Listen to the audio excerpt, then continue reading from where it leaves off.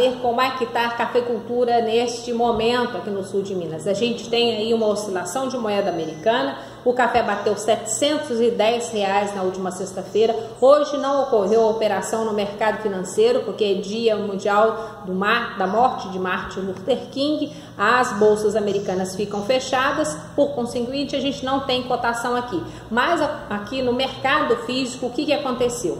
Esse valor de 710 é que movimentou alguma venda ainda muito pontual de quem tem café para comercializar da safra 2020. Já a safra 2021, com essa pequena estiagem, os cafeicultores aproveitaram para realizar a adubação que está atrasada, afinal são mais de 20 dias aí ininterruptos de chuva, o que prejudica esse momento de nutrição dos cafezais.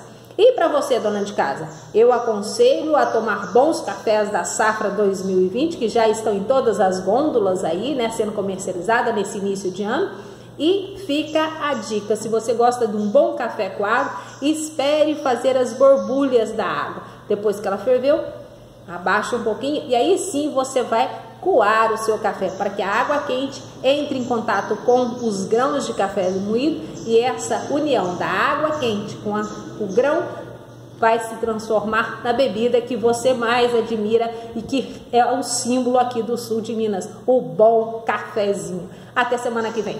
Tchau!